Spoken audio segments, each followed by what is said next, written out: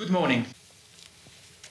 I swear that the testimony I am about to give will be the truth, the whole truth, and nothing but the truth. So help me God.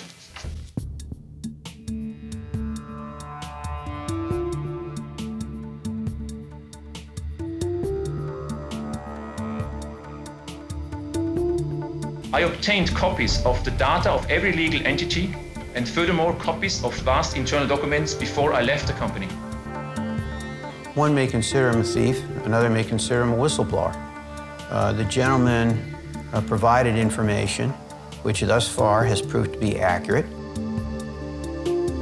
Any documents sent out are especially prepared in the way that the name of the bank, the client's name, or the legal entity's name is not revealed. If you're an average, ordinary, everyday worker, you can't afford a fancy accountant, uh, you're not using generally tax havens. And that's what makes this such a social justice matter.